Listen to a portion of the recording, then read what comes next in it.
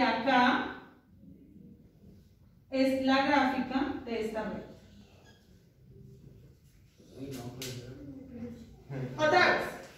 Este número que está acá lo vamos a graficar en el plano cartesiano. Todos conocemos el plano cartesiano, ¿no es así? La X siempre va a ser la parte real. Ya sabemos cuál es la parte real. Y el Y va a ser la parte imaginaria.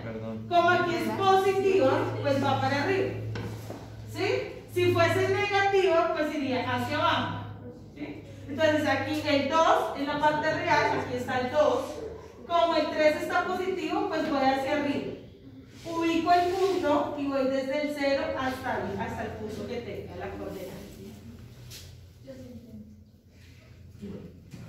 Y aquí es 2 más 3. ¿Cómo era, cómo, esa, cómo era el de positivos y negativos?